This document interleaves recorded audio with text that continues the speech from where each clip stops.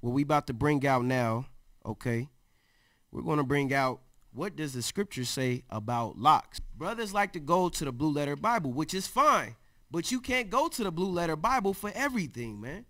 And, and you have, uh, we have a dictionary that we use. Hebrew Israelites use the the Zondervan uh, Compact Bible Dictionary.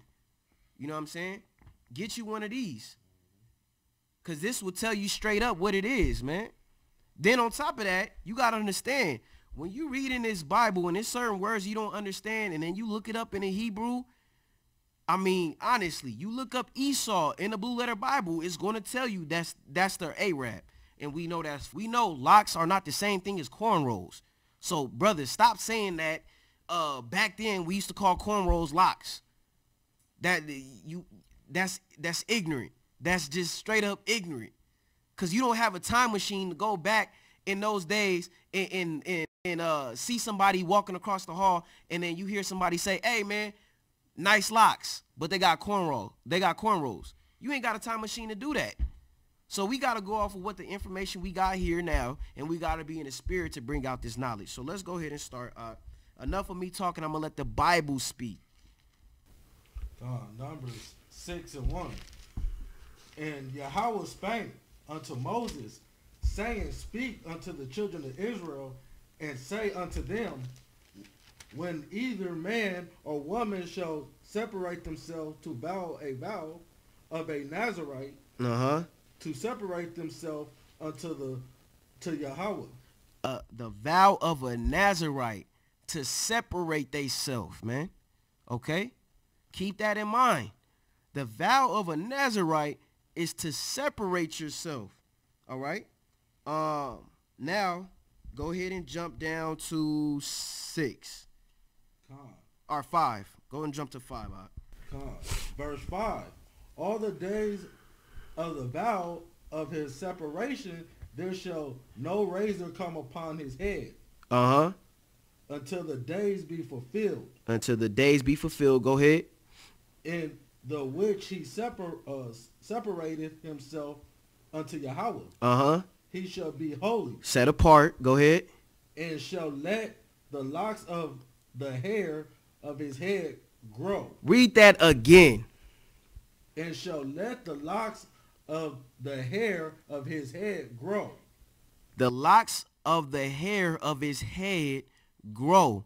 Now let's go into the blue letter, okay, and let's see what words in the Hebrew were they using for the locks of the hair and the words that they was using uh, for grow. Let's see. Let's let's uh you got the blue letter on your phone up? All right.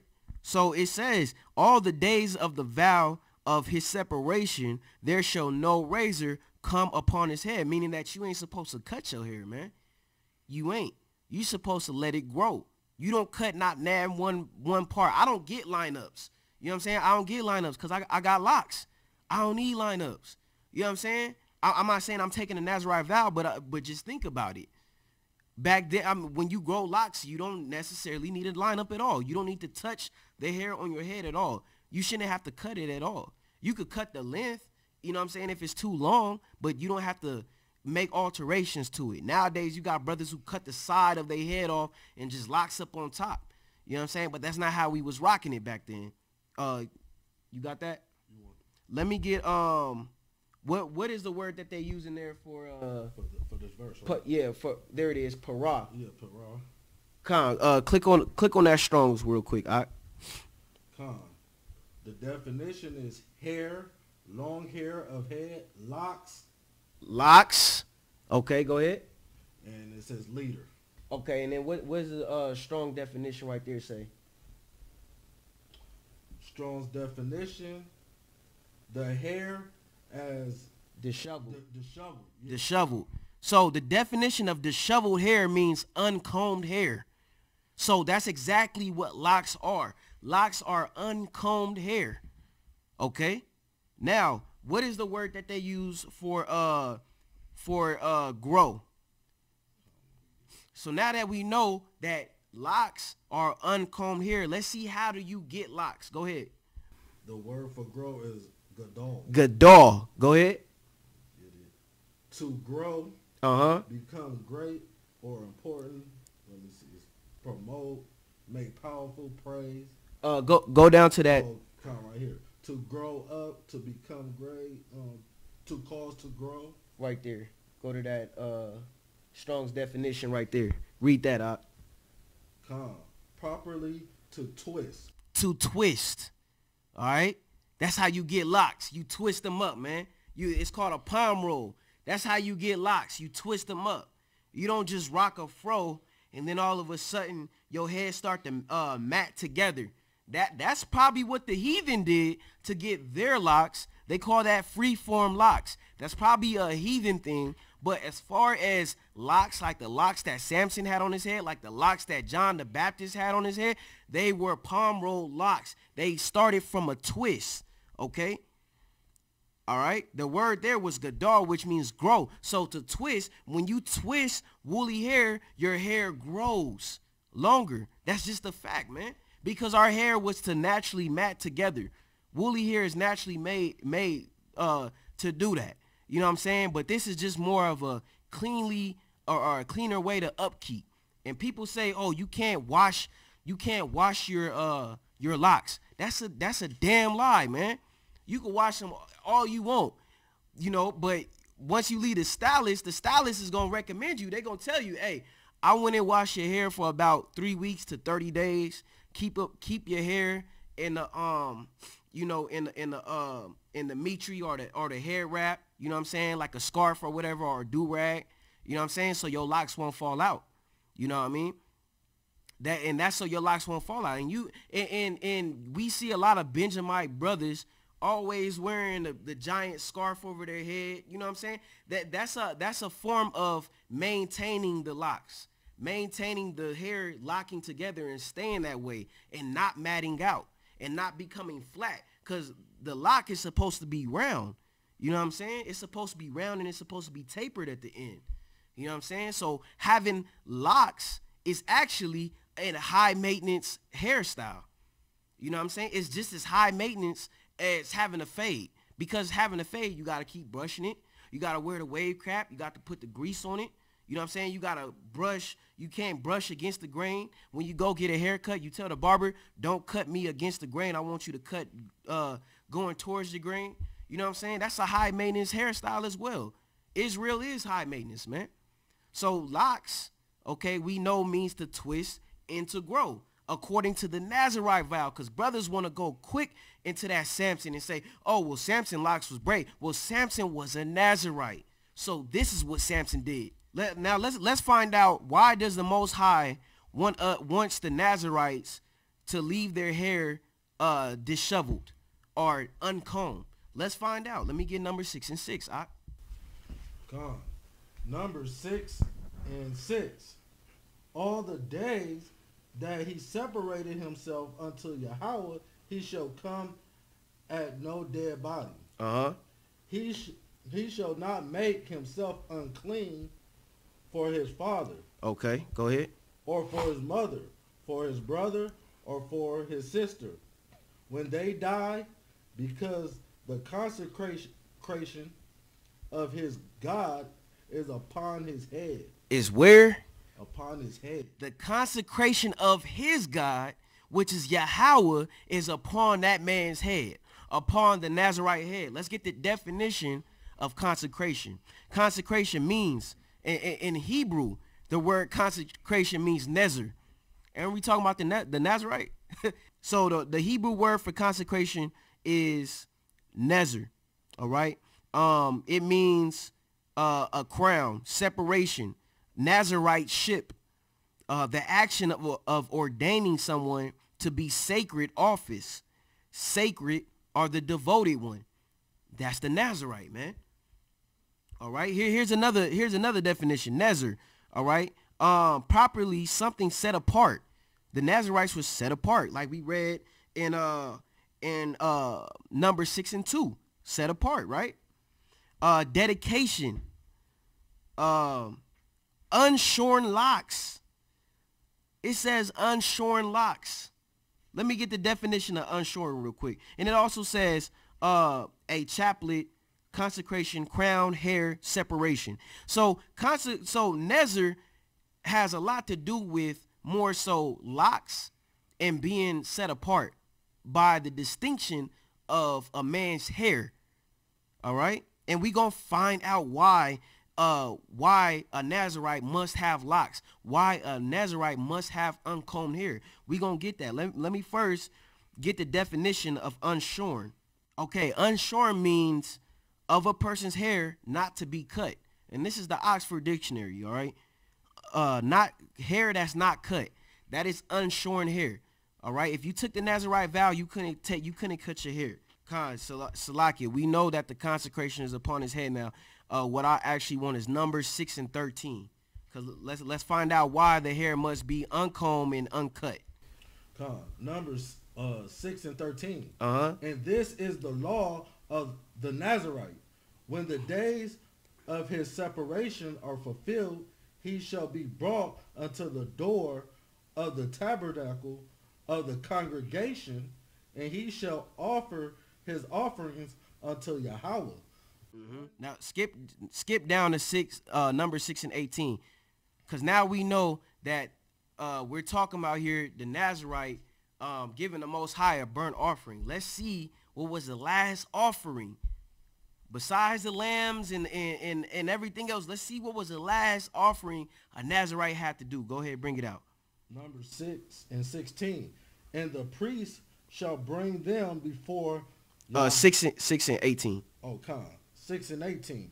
The Nazarite shall shave the head of his of his separation at the door of the tabernacle of the congregation, and shall take the hair of the head of his separation and put it in the fire which is under the sacrifice of the peace offerings. So the locks of a Nazarite was used as a burnt offering to the Most High.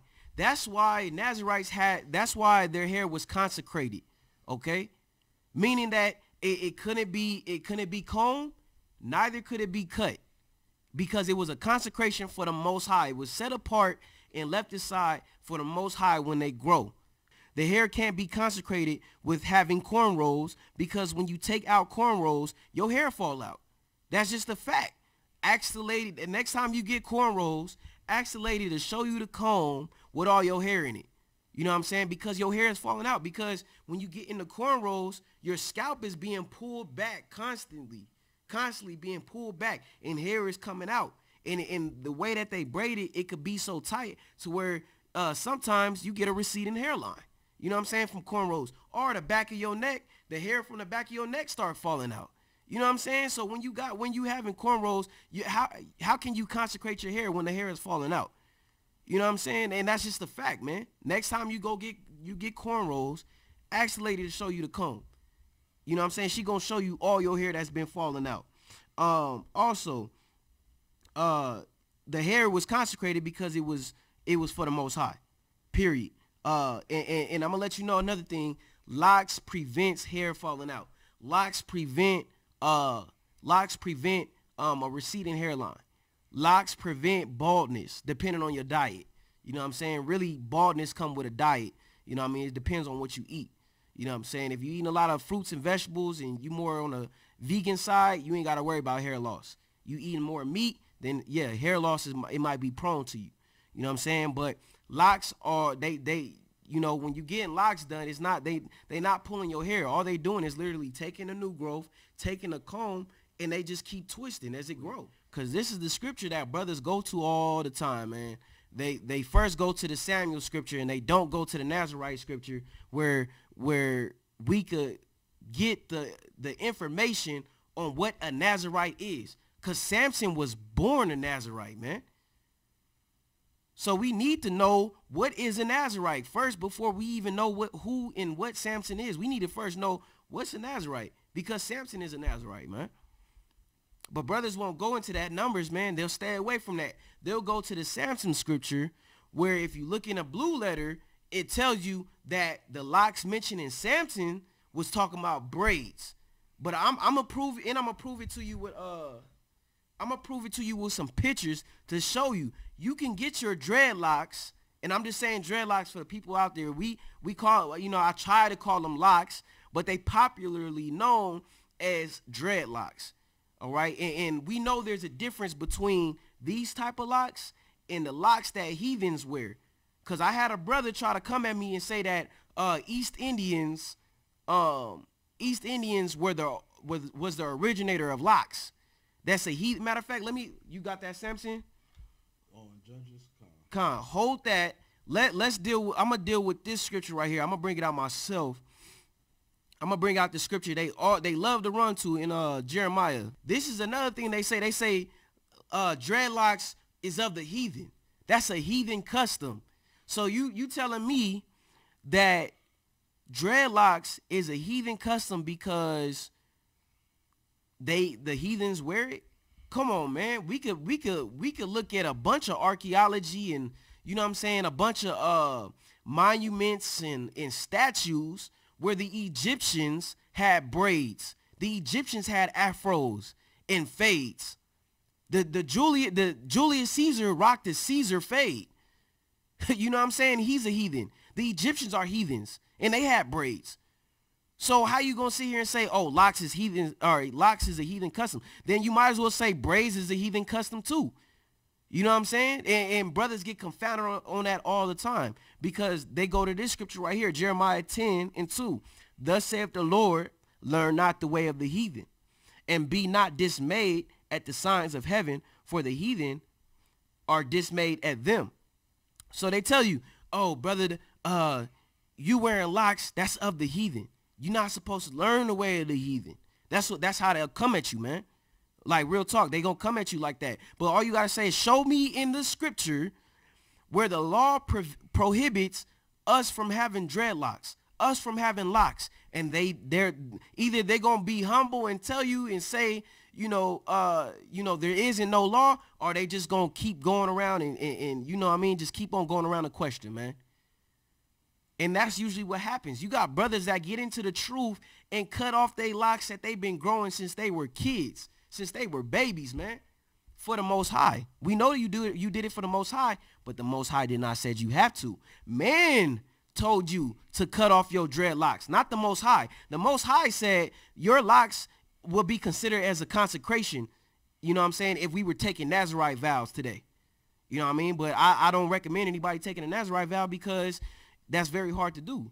You miss, I mean, you you ain't taking, you ain't drinking grape juice and, it, you know what I'm saying? It's just, what we need to worry about is our salvation, not taking the Nazarite vow. Yeah. Jeremiah 10 and 16. The portion of Jacob is not like them, for he is the former of all things and Israel is the rod of his inheritance. The Lord of hosts is is or slacky. The Lord of hosts is his name. All right. So we're the former of all things. We didn't get dreadlocks from the heathen. The heathen got dreadlocks from us, and they did a terrible job at it. They they're ter- they, their their dreadlocks is a terrible copy of Hebrew locks, man. Just like how their doctrines and their Bibles and their religions is terrible copies of our faith. The heathen always copies off of us. Why? Because we are the former of all things. And brothers will try to say, oh, you know what? Well, no, we got that uh, braids and, and fades and afros. We created that first, but we didn't create locks first. They did. What kind of proof can you show? What evidence? What? Give me something in the Bible that shows what you saying is true. And brothers can't come out with that, man. You got brothers saying that it's an East Indian custom and it came from East India.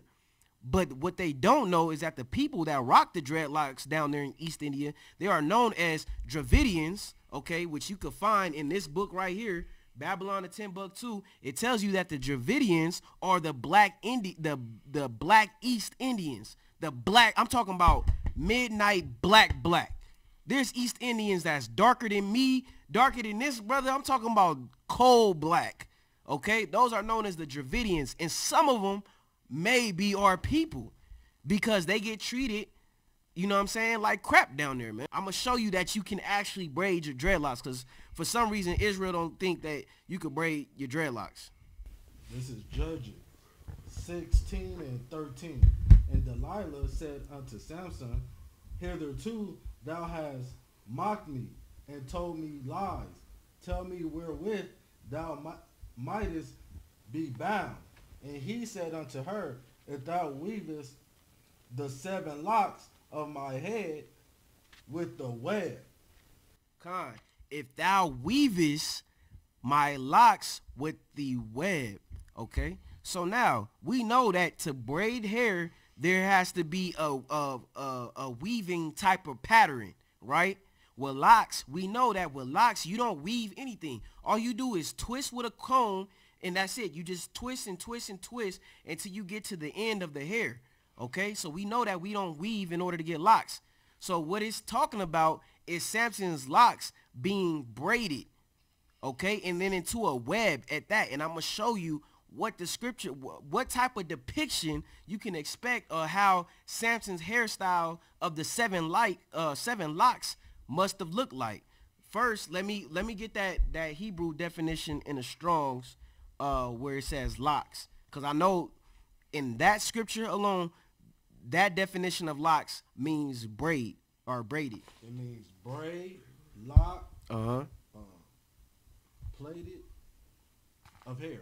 Con. So, uh, and, and that's the locks that's used in, what, what was the scripture that we just brought out?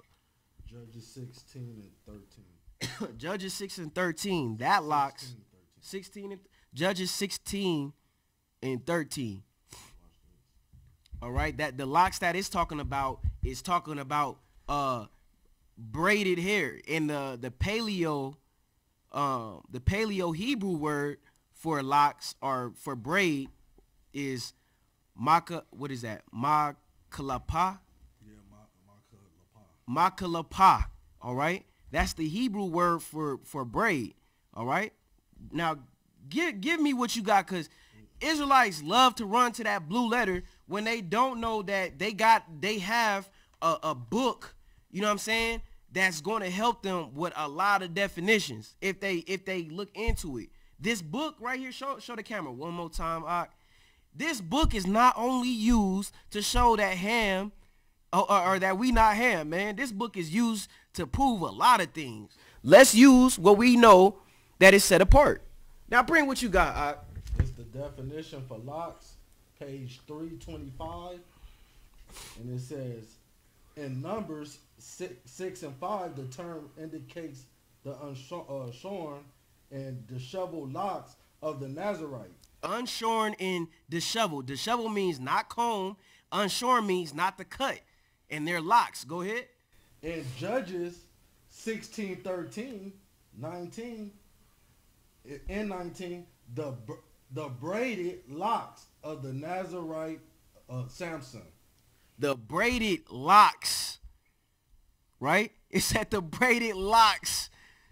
It, it said the, the scripture we just read, y'all, was was uh Samuel 16 and 19. No, no, it's uh, Judges. Six, Judges. 16 and 13. And that's what it says. That's what it means in that verse. Braided locks. Right. So if locks, if locks are braids, why they say braided locks? Exactly. And then you gotta, it says weave together his seven locks. So he had to have locks to, to weave together like braids. God. Like if you Yeah. had seven locks, I'll You braid them up. That's what I'm saying. And look, I'm gonna show y'all too. Look, y'all tell me what that is. Look at that. That's about six. That's about six locks braided together. I'm gonna show y'all another one. Look, I'm gonna show this camera too. That's about six locks. You know what I'm saying? Bra- braided together. Six of them. All right. Into one. Let me show you another one. Look, there it go again. Look at those locks. Braided. Braided locks. These are locks, y'all. Let me show y'all another one. All right. Look at this one. That's that's that's braided into one lock. That looks like one. That's one lock right there. That's one giant braid or one lock. And these are these are dreads. These are locks braided. So man, look, that's what it is. You know what I'm saying? I just gave you a depiction of what Samson's seven locks may have looked like when they were uh, braided into the web. You know what I'm saying? And, and like I said, hey, um, you know, to all the brothers out there that cut off their locks for the Most High, we know that you did it for the Most High. All right, we we know that that was your intentions, but you got to understand it was man's doctrine that made you cut off your locks. Unfortunately, because the Most High never said you had to do it, but you by but by you being on the safe side, you did it, and that's being very sincere. You know what I'm saying? And um, but you now know that locks are lawful. There's no law in the Bible that prohibits you from having locks. And I think that that doctrine is just, you know, it's in shambles now.